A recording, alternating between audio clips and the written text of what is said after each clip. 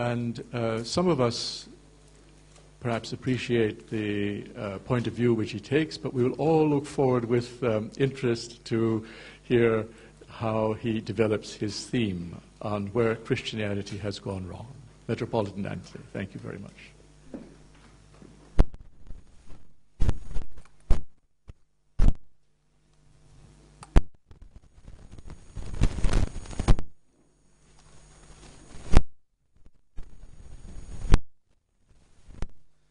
After the talk which we have just heard, I feel very shy giving a talk. Because I'm so full of knowledge, of experience, and I feel that the best introduction I could make to my talk is a quotation from an old Russian lady whom I asked many, many years ago what she thought of my talks. And she looked at me with sympathetic eyes and said, Your talks, Father Anthony, like, are like the dreams of an old horse on a meadow during the summer. Ваши беседы — это же дремы рябой кобылы в майскую ночь. On the other hand, as I'm going to speak from my point of view, and not ex cathedra from being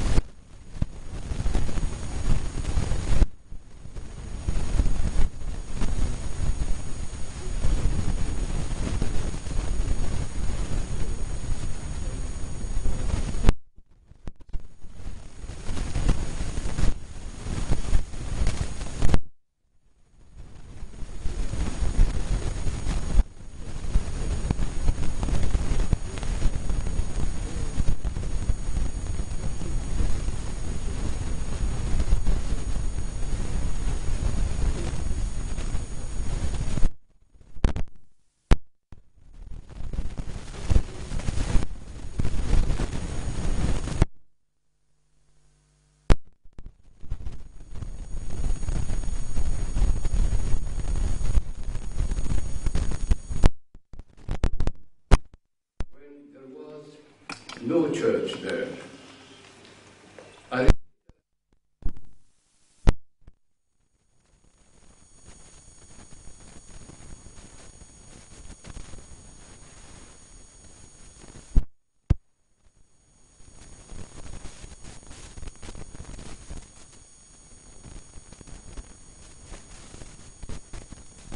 For the first time, Christianity.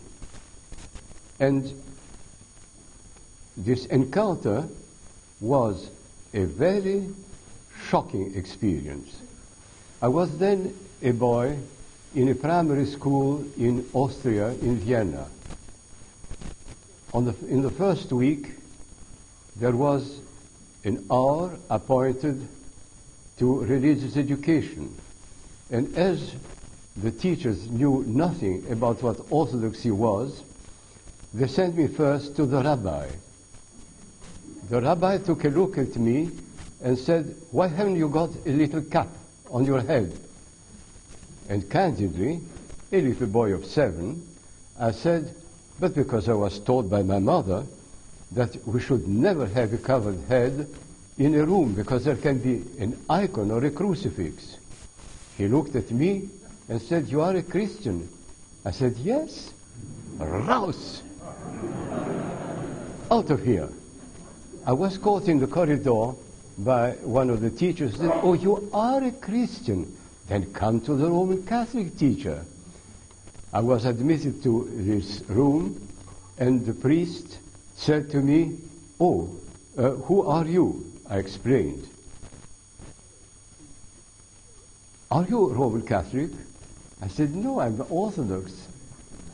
A heretic in my form, rouse! And I was out. And this was the end of all religious education I had. But what I learned from that first encounter with religion is that it was a friendly kind of what? Movement, organization. That was what I had as a I had an experience of orthodoxy.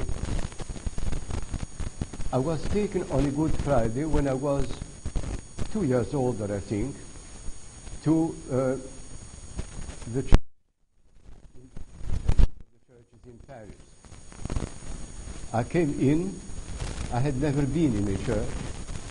I breathed normally, but there was incense in the air, and I fainted on the spot. I was and gave me hope from the one decisive way to avoid contact with the church. And I applied the principle when next year I was brought on Good Friday. This time I walked in knowingly, took a deep breath, fainted on the spot, and I had finished with religion altogether. So you will not be surprised that my first reaction to religion in general, whether it was uh, Old Testamental or New Testamental, was negative. Little I was uh, sent for a short while uh, to experience more of it. The Roman Catholics were offering places in good schools to emigrant children, and I was taken to one to, be, to an interview. Everything was arranged wonderfully for me to go to one of the best Roman schools in France. As we were reaching the door, the priest who had interviewed us said, one moment, madam, of course the child will become Roman Catholic.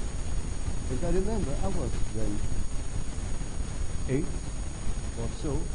I turned around to my mother and said, let's go. I'm not on sale. That was another experience of what religion was.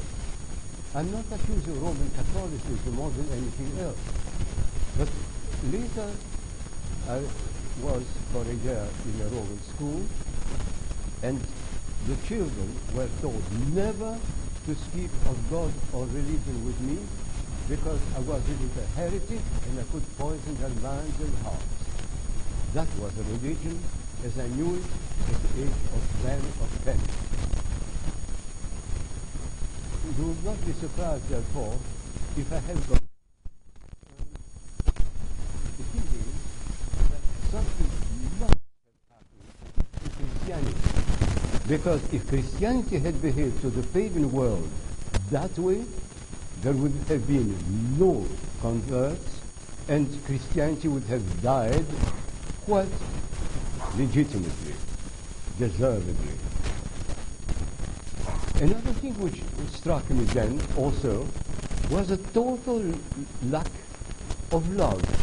As I not speak of Christian love, I knew nothing about what that means, but just of normal love of to children or of uh, boys between themselves. There was no concern of any kind uh, for my feelings. I was a little stranger, From a church point of view, I was a little heretic. I was an outsider, and I should remain outside. And the, what I had learned very soon, not only about uh, churches, but also about the world in which uh, we live in, was that the world is a most dangerous place, a jungle populated with wild beasts whose purpose is only to tear you to pieces, to destroy you. And that the only way in which one could survive was to become as hard as nails, totally insensitive, and to be able to be like a rock surrounded by waves. This lasted until later, until I was 14 years of age.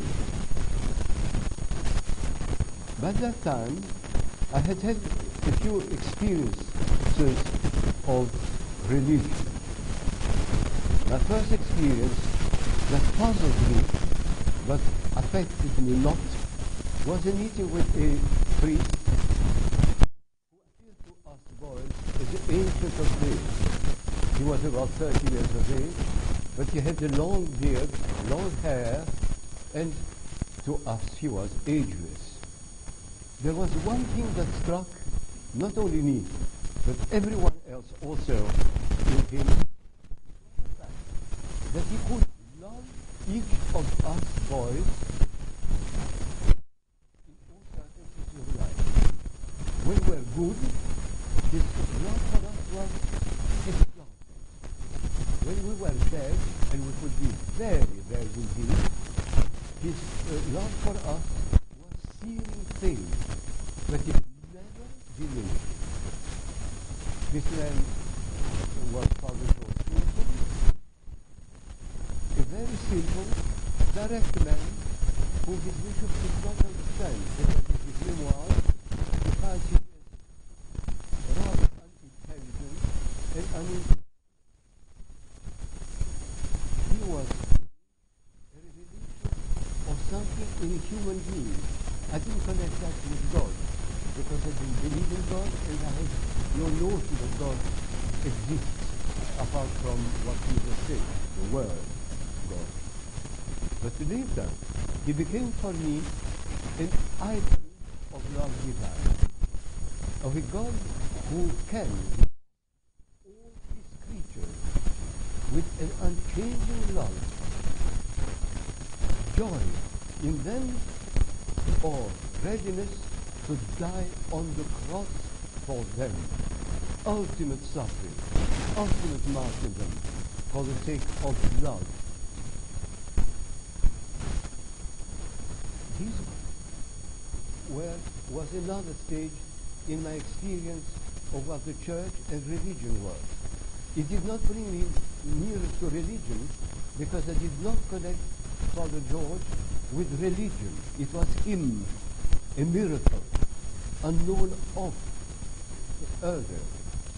Later I was a boy in a youth organization where religion was present. That is, we had prayers on occasion, on, at meetings, and in camps we had a chapel, which I did not attend because we were not forced to it. And so I stayed in bed when there was a liturgy, which shows to you the level of my spiritual development. But what um,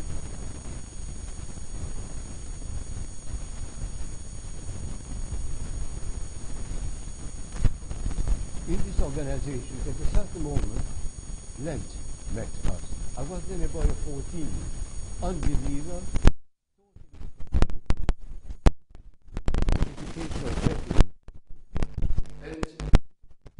I was upon, um, accosted by uh, one of our youth leaders who said to me, We have invited a priest to talk to you boys. Come on. I said, Certainly not. I believe in no priests. I believe in no God. The weather is splendid. We are playing volleyball, which was my passion, and I'm staying here. The man was intelligent. he not try, did not try to convert me. He said to me, Do you realize what he will spread about us in the whole of Paris if all of you react as you do? I'm not asking you to listen. Come and make bulk. Sit in a corner and be present physically. That I thought was an act of loyalty which I can offer my organization. And I went to a talk that was given by one of the greatest theologians we had, Father Sergei Bulgakov. But he was used to speaking to students, to direct the spiritual life of grown ups, not to little vandals, savages like me and some of my contemporaries. And what he said incensed me to such a degree that I knew I had finished with God and religion altogether. He gave us a picture of Christ in which he spoke of meekness, of love, of all the qualities which uh, were irrelevant to the liberation of Russia, sword in hand, for which we are being prepared. And I knew that I had finished with religion, but I wanted to check. I thought it's not enough to believe or disbelieve one particular man. I went, I did not go to play volleyball. I was so indignant, so incensed that I left for home. And all my way home, it was a long way because we lived in a suburb, I repeated to myself, I'll check that. And if what he said is true, if Christ is just nothing, then this crawling worm, I will throw into the dustbin my baptismal cross, and I have finished with it. I came home, asked my mother whether she had the book of the gospel. She had one, which I still treasure, and settled down to read. But I had remembered one important feature in the talk of Father Sergei, that there are four Gospels. And if there are four, one of them must be shorter. And therefore there was no point in reading a long Gospel if one could read a short one. And at that point, God caught me. Because I took the Gospel according to St. Mark, which was written for the young savages, young people of Rome mainly. And I was one of the savages. But then something happened. I settled down to read, and between the beginning of the first and the third chapter, I suddenly became aware I'm saying aware. I don't say that I had the illusion or the feeling. I became aware that Christ was standing on the other side of the desk. I saw nothing. I heard nothing. I smelled nothing. It was no kind of sensorial vision. It was a certainty of a presence. And then I sat back and thought, if that is it, if Christ is here, present, alive, all that is being said about him in this book must be true. And I will investigate more. So I began to turn pages. And the first page I came upon was in St. Matthew's, the passage in which says that God so loves us that he shines his sun both on the good and the evil. And I sat back and thought, the whole world for me was the evil ones, the jungle, the people whom, uh, against whom I had to fight in order to survive. And my desire to escape this group of people was such that several times between the age of 10 and 14, I tried to commit suicide by throwing myself under cars in the street, for which I have been violently beaten by the, the drivers. Um,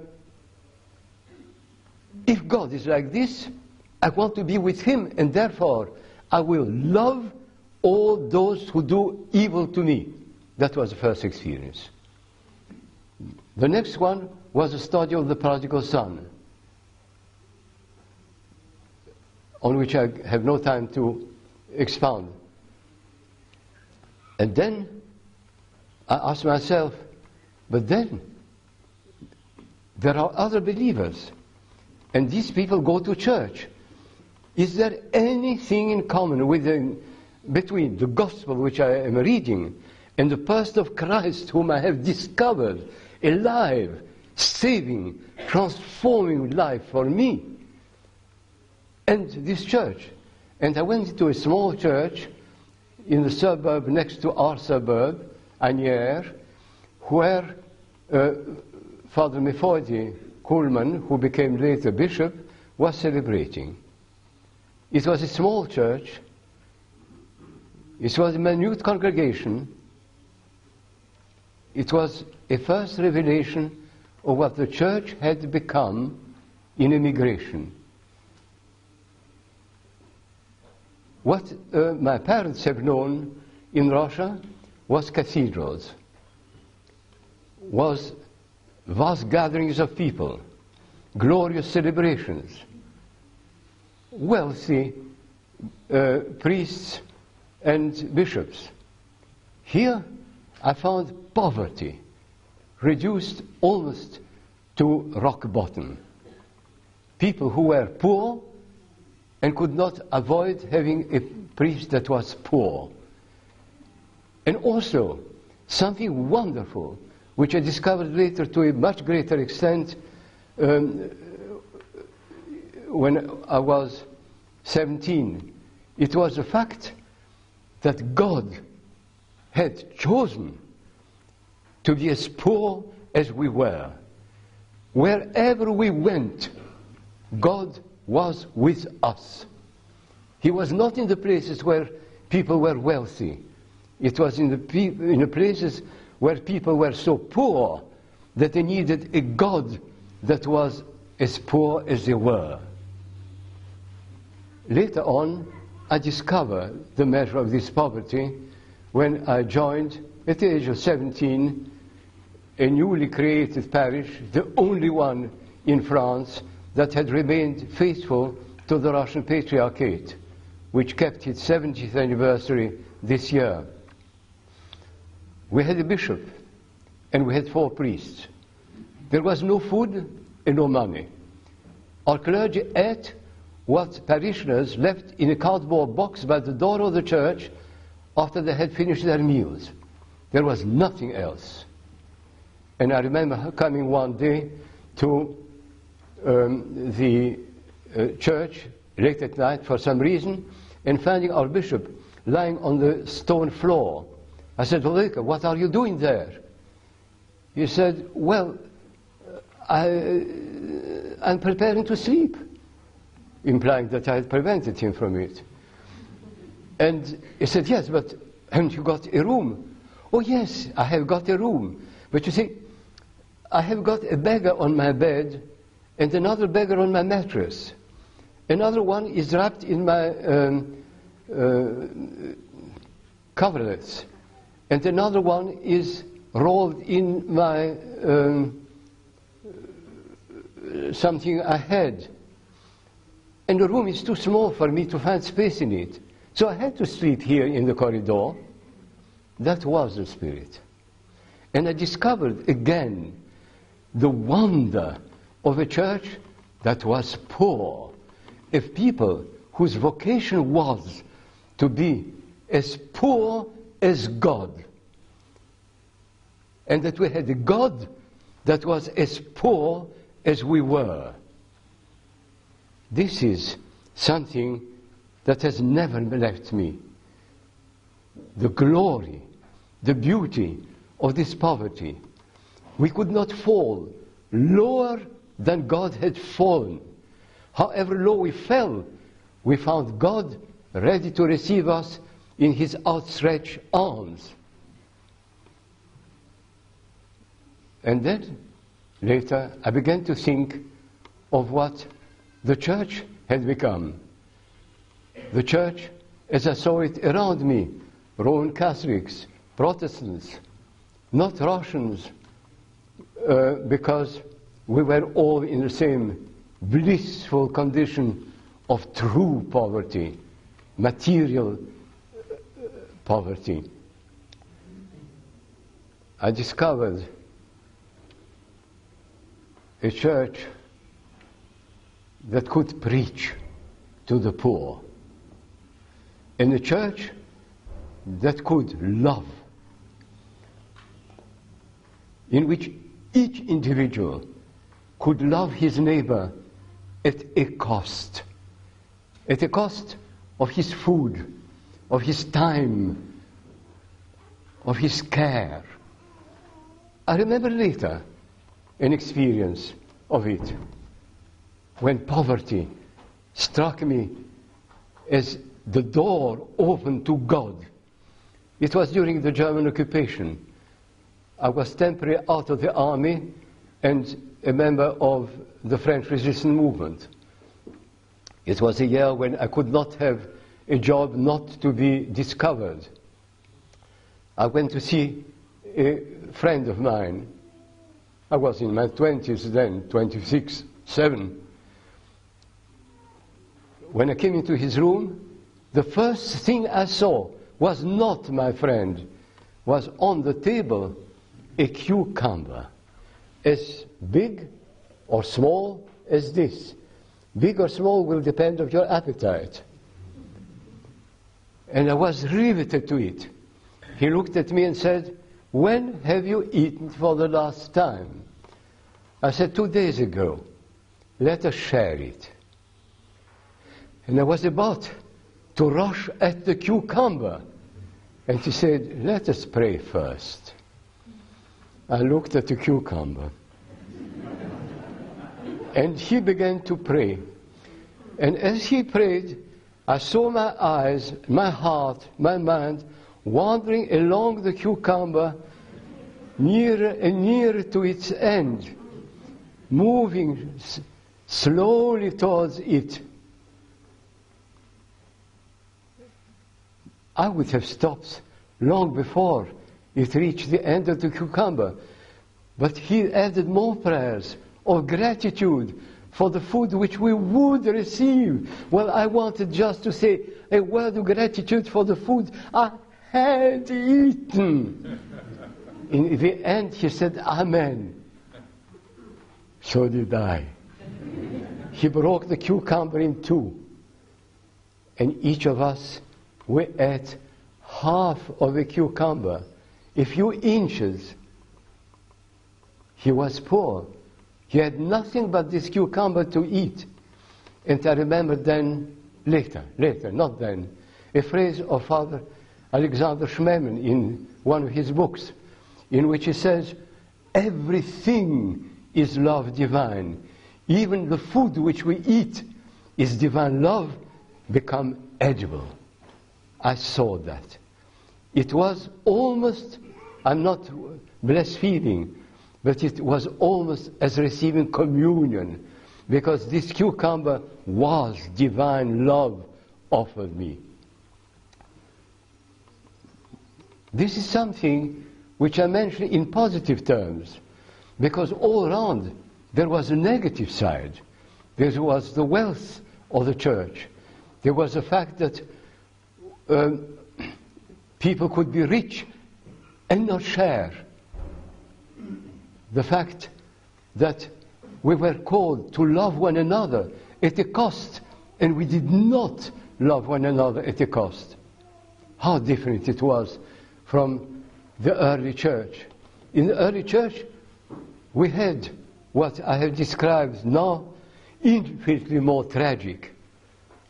Loving meant offering one's life for one's neighbor, offering it, not having it stolen from you, torn away from you, but given.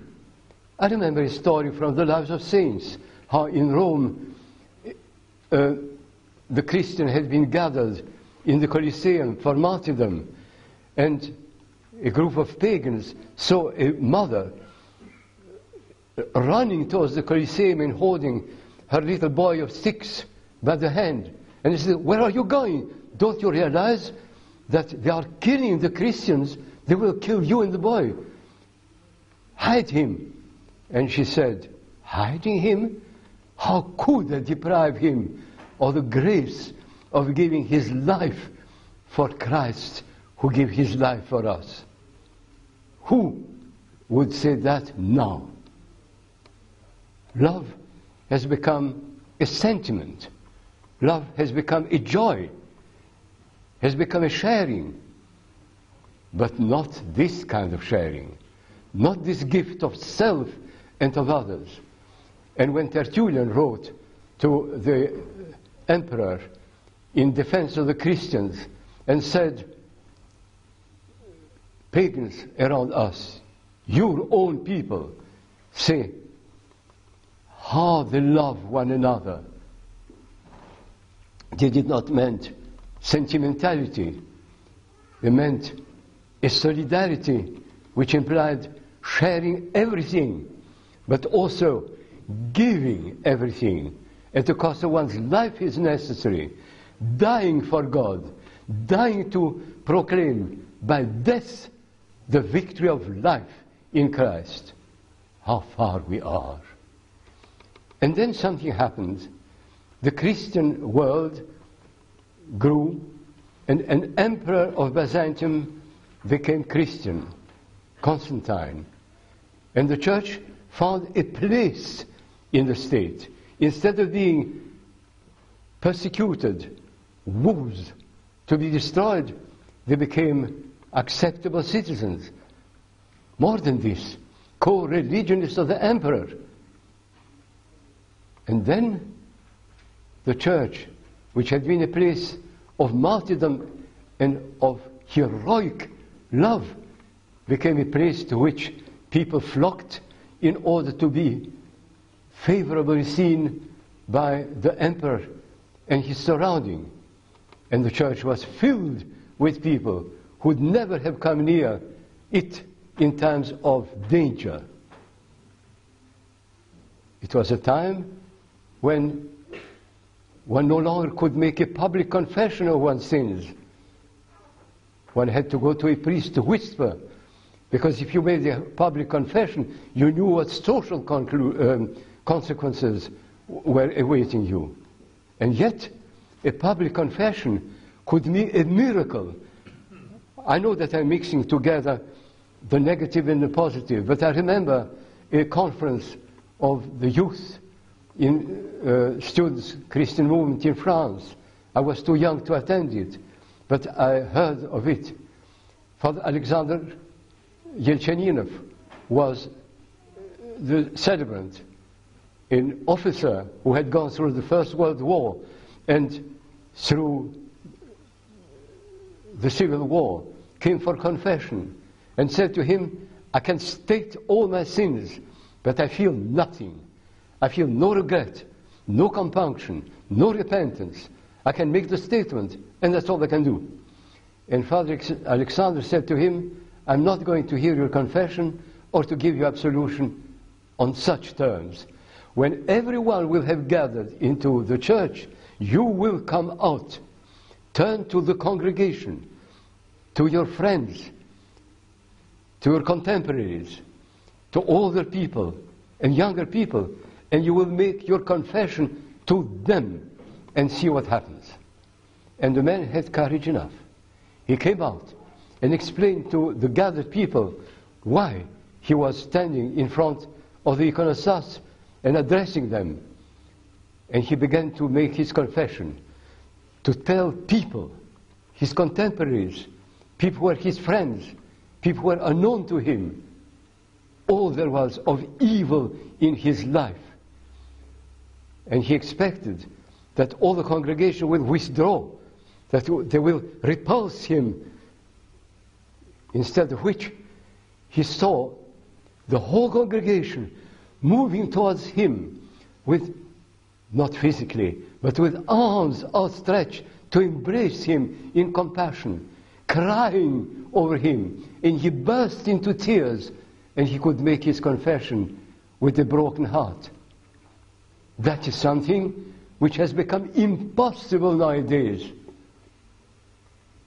If any one of us came out and made a confession of that kind in front of his congregation, what would be the reaction? Not sympathy, not compassion. People would say, oh, so that is what he is. And all that is left to us is to turn to God in horror of what we are, in horror, and say, Lord, I cannot share this horror with others. I deserve to be cursed by them, rejected by them. Perhaps can I speak to the one or the other, but I cannot be received. I cannot be integrated into the church. I will be rejected. Is that the church in which we are called to love one another as Christ has loved us? To love one another at the cost of our honor, of our life. It is not. This is the church which we are. Alien to one another, or superficially connected when there is mutual affection, mutual friendship, mutual common interests. Oh, yes. And even that ends at the point where we are afraid of losing all we possess in terms of relatedness to people in, if they knew what we really are. How terrible it is. And then there is also something else. We have replaced our communion with God with a theology of God. In the early church, everyone who became a Christian became a Christian in the way in which St. Paul had become. Through someone, yes, or through a direct contact with God, everyone had met God. It was an encounter, and this encounter was decisive as decisive as when a man and a woman meet one another and fall in love, not sentimentally, but give their lives and hearts to one another. You are, I'm yours, and I receive you totally into me, ready to live and to die for the sake of this communion.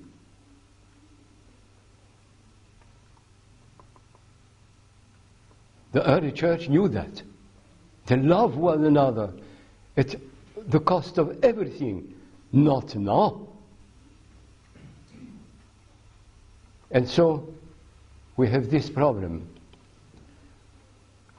Instead of an encounter with God, either directly or through people who have, or perhaps not met Him to perfection, but touch the hem of his garment, know that he exists, know who he is, adore him from afar off, but know that there he is, the most precious being that can be. We turn to definitions, we turn to statements, and we are separated from one another by the variety of statements which we make. I think it's very important. I do not mean to say that what the church knows and expresses in words um, about God and things divine is irrelevant. What I mean to say is that if all the knowledge of God we have are these statements and not an experience, a closeness to God, then we are not yet there. We must remember that, I believe, and ask ourselves questions, as I am asking myself this question all the time.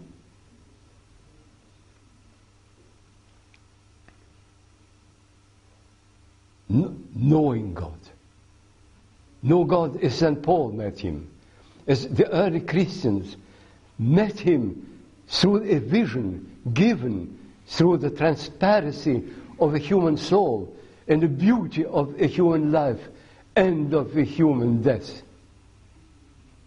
And the ability to identify and be ready to live and to die if necessary.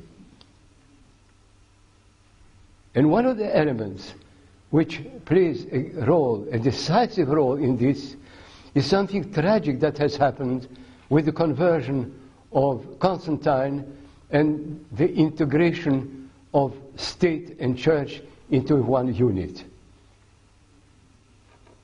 The church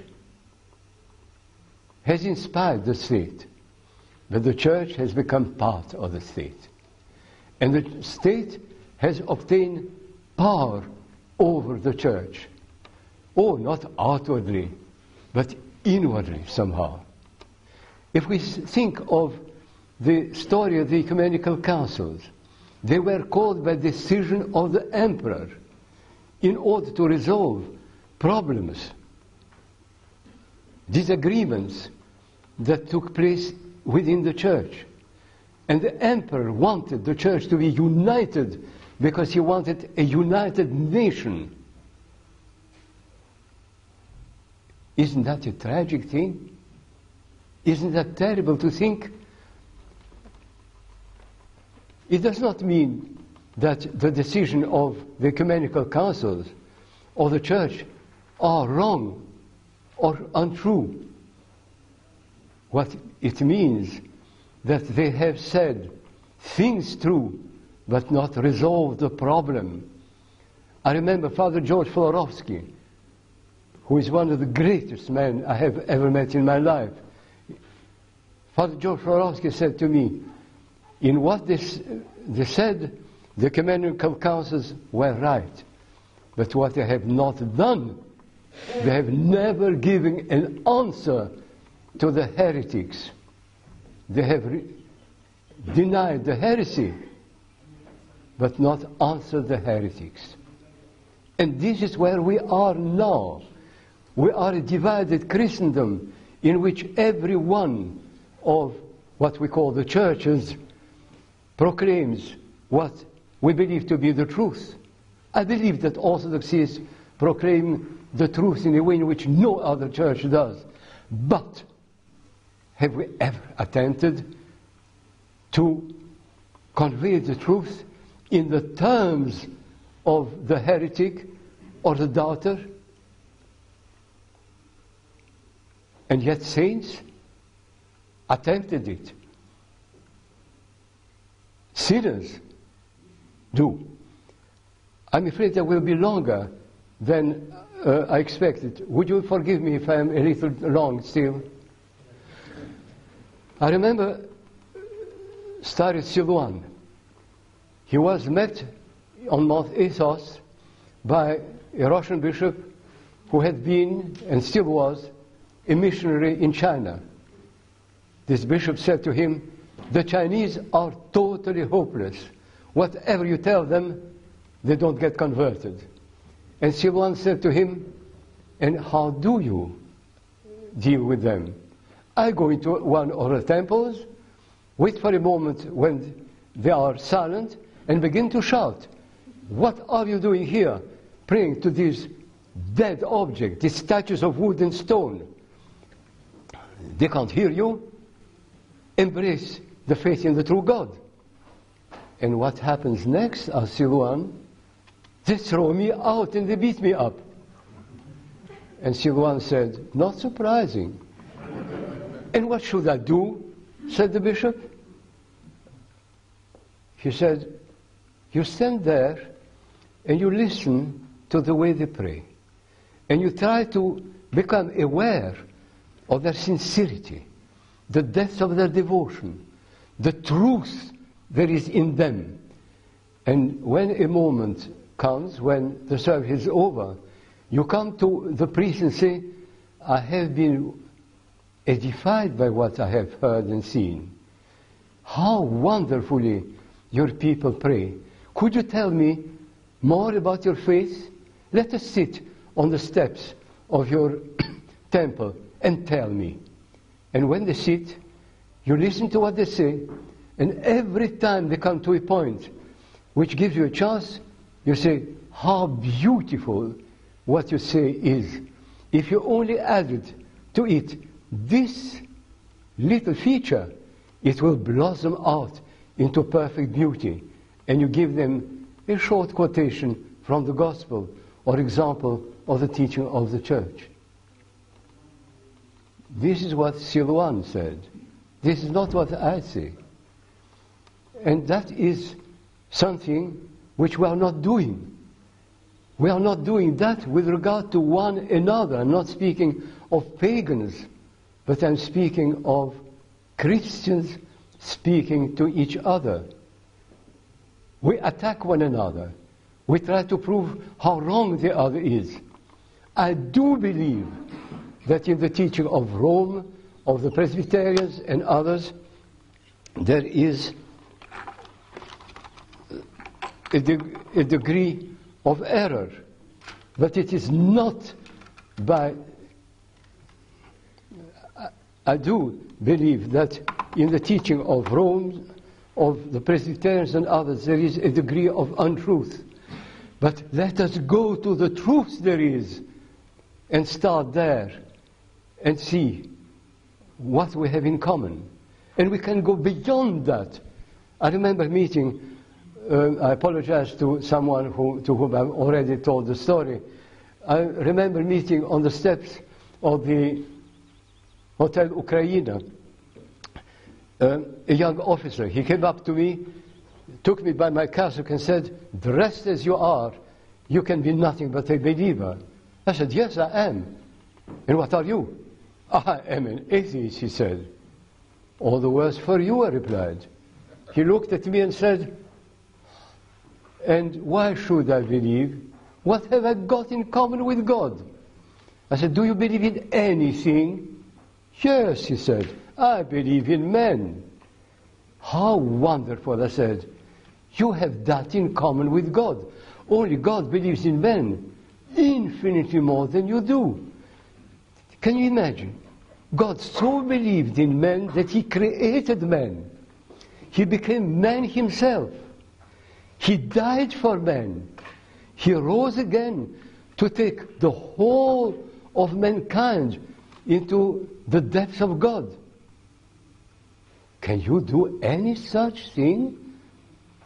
He looked at me and said, I never thought of that. I must reflect on that. So let us think in those terms. The teaching of the church, if we are Orthodox, we can believe unreservedly. But we must ask ourselves, in what experience of God is it rooted? If it is not rooted in anything but the catechism which was read to us, or Uh, the, the prayers which we have learned by heart, that is not enough. We must find a way of meeting God, of an encounter with God.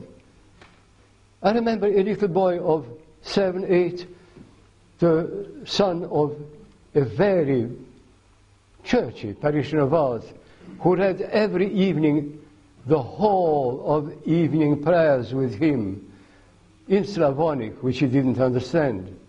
And one day, when he had had enough of it, he turned to her and said, Oh, mommy, well, now that we have finished praying, could we pray a little to God? What he meant? He spoke to God as a living being to another living being. But to do that, we must readjust ourselves to an enormous extent.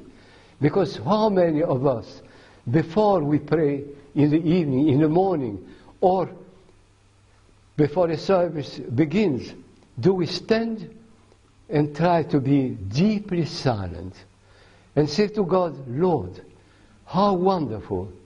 I'm not capable of perceiving your presence, but I know that you are here and you allow me to be present to you. Let me stand in your presence.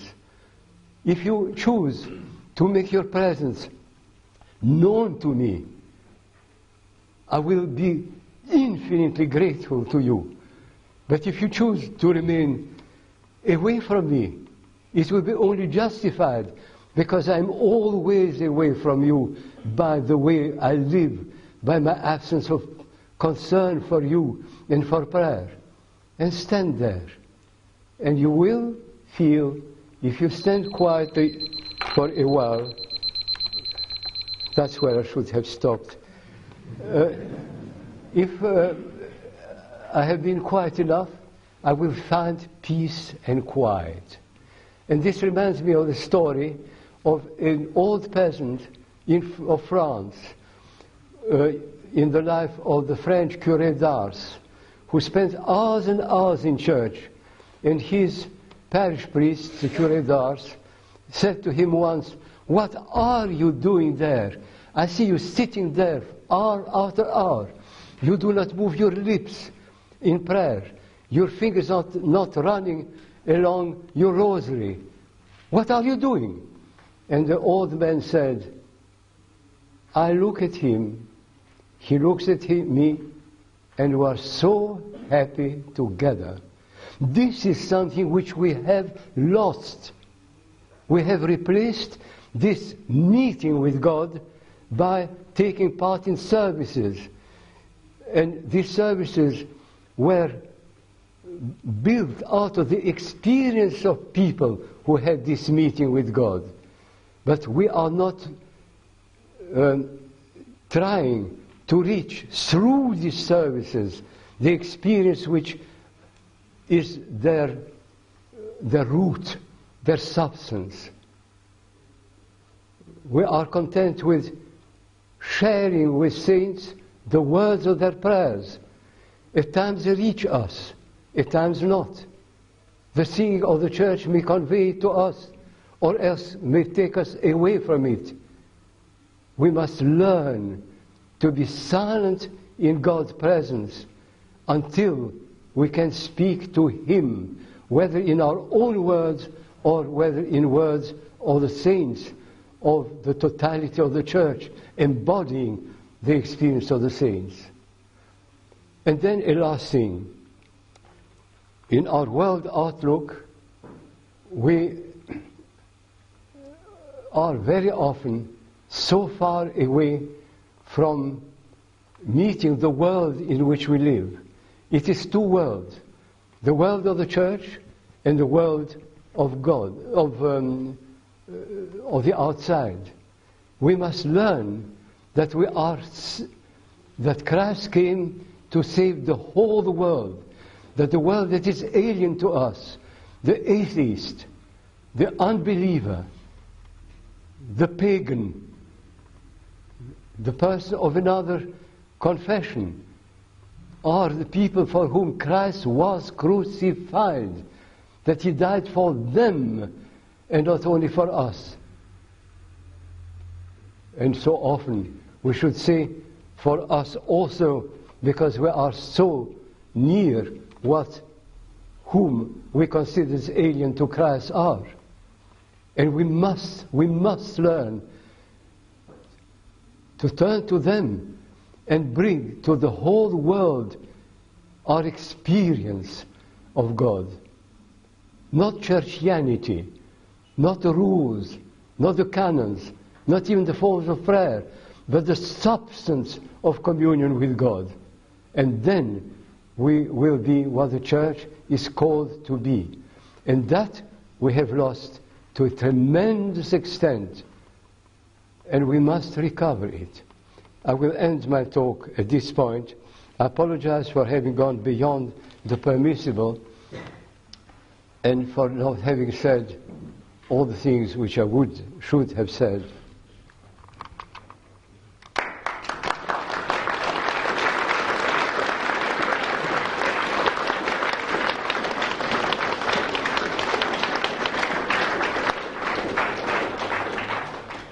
Thank you very much. Would you be willing to answer questions from the... If I can.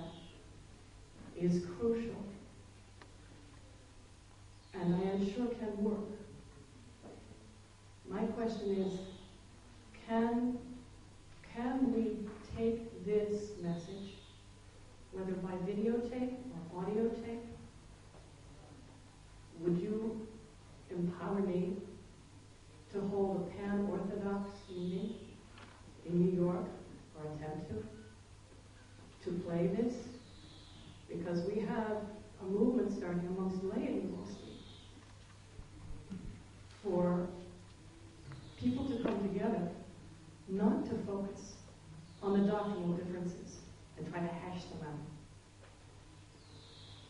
Not to try to reach theological agreement, but to try to love.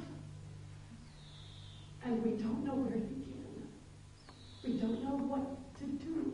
This could do it. May I take something? Can we get you there? Somewhere? I need it. I need it. We're hurting.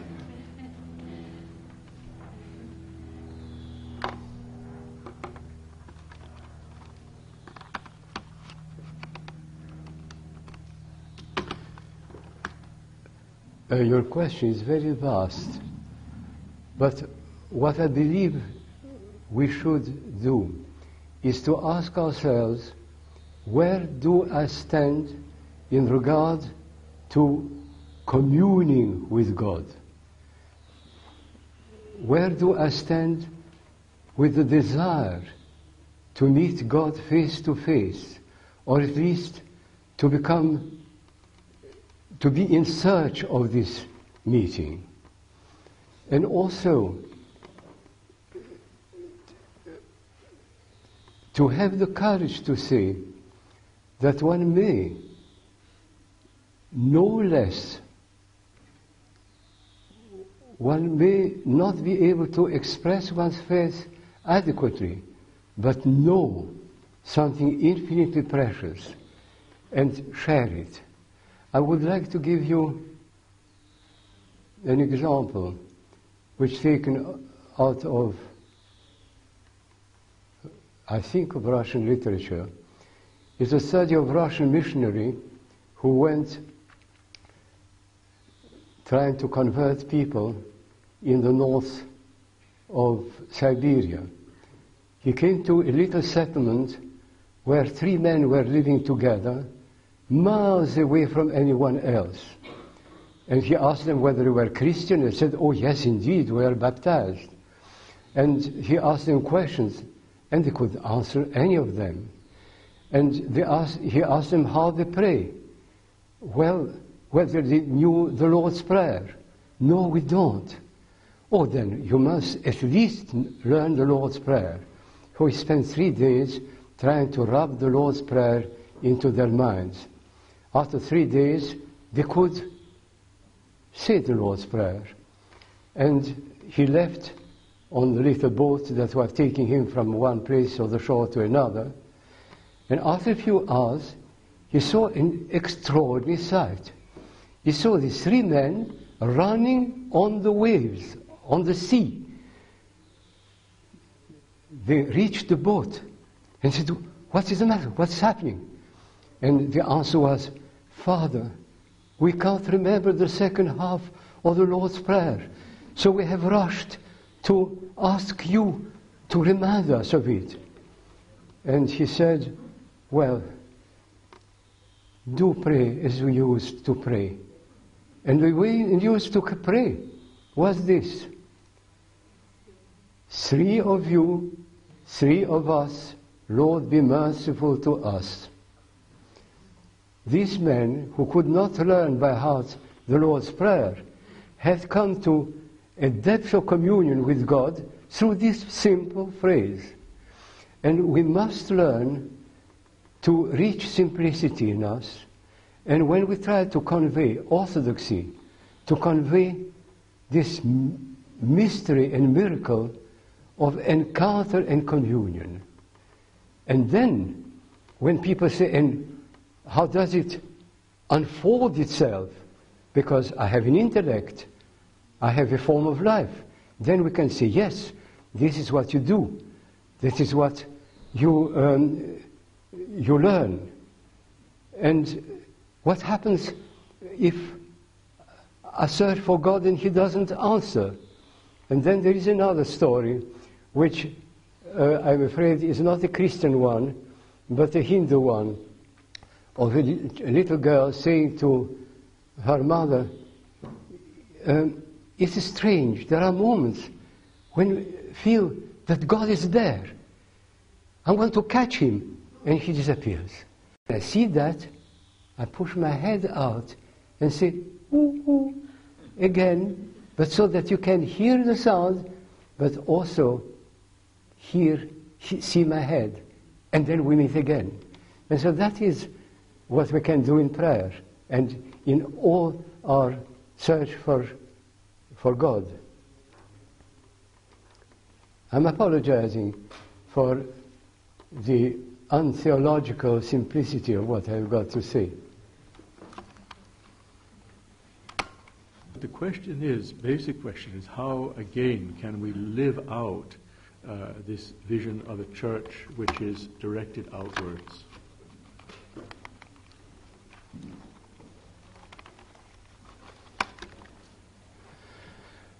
I don't think we can um, recapture the experience uh, which I have tried to convey by agreeing to do it.